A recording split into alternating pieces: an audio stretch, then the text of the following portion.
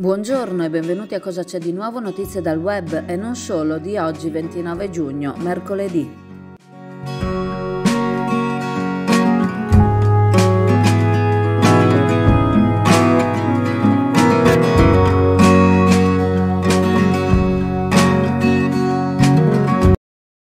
L'altro tema su cui stiamo lavorando è il rifinanziamento della legge speciale. Eh, qui abbiamo chiesto fortemente al governo per il rifinanziamento di questa legge perché è del tutto evidente che quest'area ha bisogno di attenzioni e di cure che altre aree non, non ha bisogno. Eh, non serve che mi spieghi perché, questa è un'area eh, meravigliosa, straordinaria, bellissima, ma altrettanto fragile. E quindi va da sé che una legge che era nata proprio per la specificità eh, questa, di quest'area lagunare eh, oggi non ha motivo di non essere rifinanziata perché non è che i, eh, i problemi siano finiti.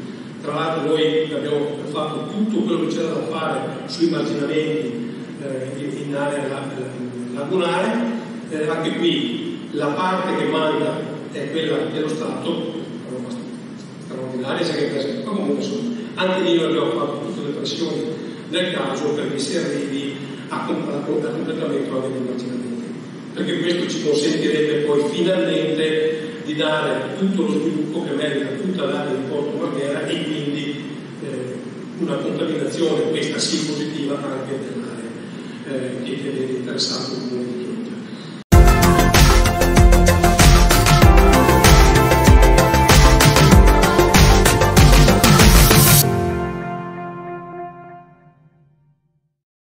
Anche ieri sera un gruppo di tursiopi si è spinto all'interno della foce del Brenta. Sembra che si tratti di una famigliola composta da due adulti e da un piccolo.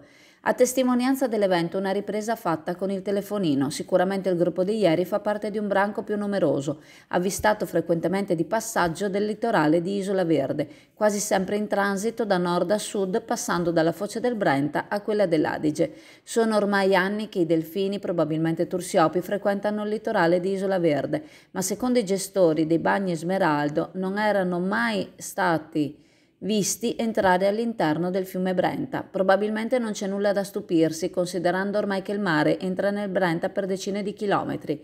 Settimane fa i media europei davano notizia di un'orca che si era inoltrata all'interno della Senna per molti chilometri, purtroppo perdendo poi la vita. Isola Verde rappresenta sempre più un'oasi di biodiversità tra flora e fauna. Tra i volatili più importanti non mancano le famiglie di cigni. Anni fa ci fu anche un avvistamento di una foca.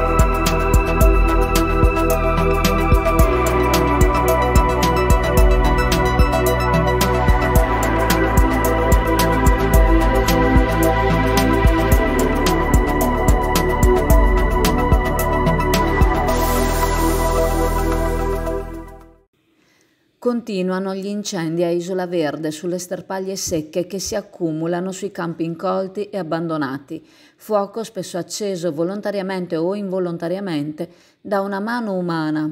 Forse chi appicca il fuoco non comprende la pericolosità che può nascondersi dietro un simile gesto.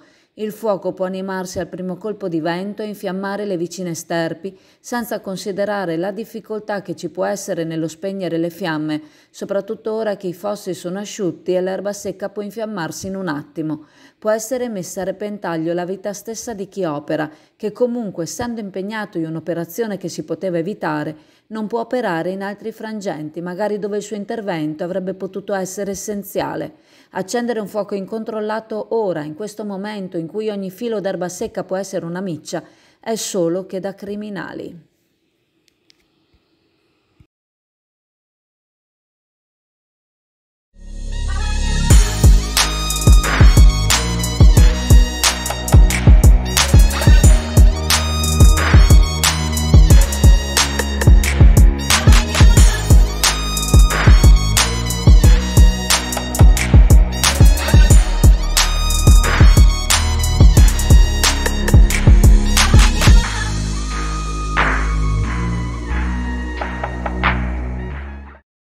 Grande lavoro per i pompieri scaligeri un paio di notti fa, intervenuti a Zevio in via dell'Artigianato per un vasto incendio che ha coinvolto un'azienda produttrice di articoli tecnici industriali in gomma.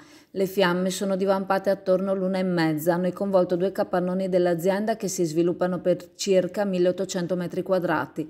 Le squadre dei vigili del fuoco arrivate da Caldiero, Bardolino e Verona con i volontari di Bovolone con tre autopompe, tre autobotti, un'autoscala e 19 operatori hanno lavorato tutta la notte per circoscrivere e spegnere il rogo. Bruciati due capannoni di cui sono collassati entrambi i tetti, evitato il coinvolgimento di una vicina abitazione. Sul posto i carabinieri, personale dell'ARPAV per il monitoraggio dell'aria e il sindaco di Zevio.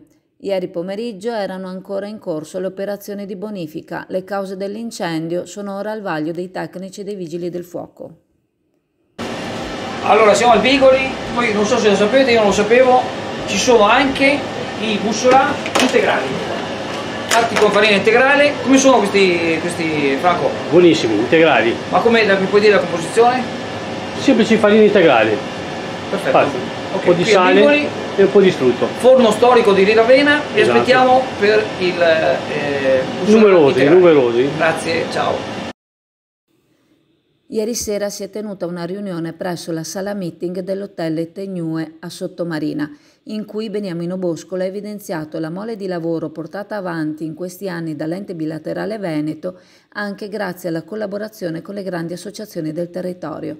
Presenti infatti interlocutori la Presidente del Consorzio Turistico Lidi di Chioggia, consorzio riconosciuto dalla Regione Veneto, Elena Boscolo Nata, Roberta Gandolfo in rappresentanza di Confesercenti, Giuliano Boscolo per ASA, Associazione Albergatori e Giorgio Bellemo per l'Associazione dei Balneari Ascot. Tutti loro hanno sempre sostenuto le attività dell'ente bilaterale Veneto promuovendo i vantaggi che questo offre e condividendo con i loro associati le possibilità che l'ente propone. I numeri sono la prova tangibile del lavoro a beneficio delle aziende e delle persone che in queste lavorano e parlano chiaro. Sono state date varie opportunità in questi ultimi anni, sostenendo le aziende anche nel duro periodo Covid. Gli aiuti che si possono ottenere spaziano in una vasta rosa ed è un peccato non usufruirne.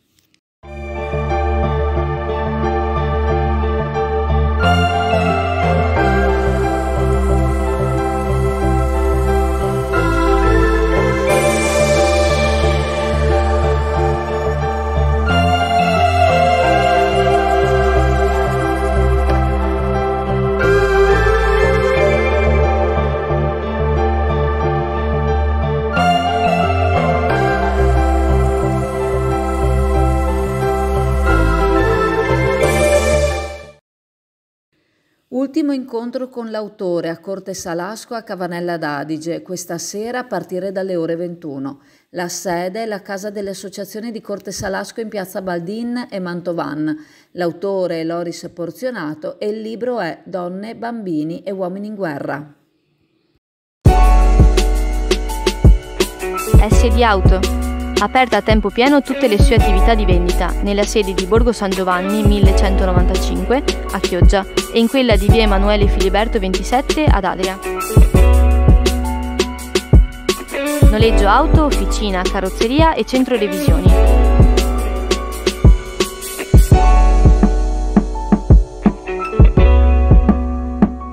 S di auto vi aspetta ricordandovi che la farmacia di turno oggi, mercoledì 29 giugno, è al Lido in Viale Padova.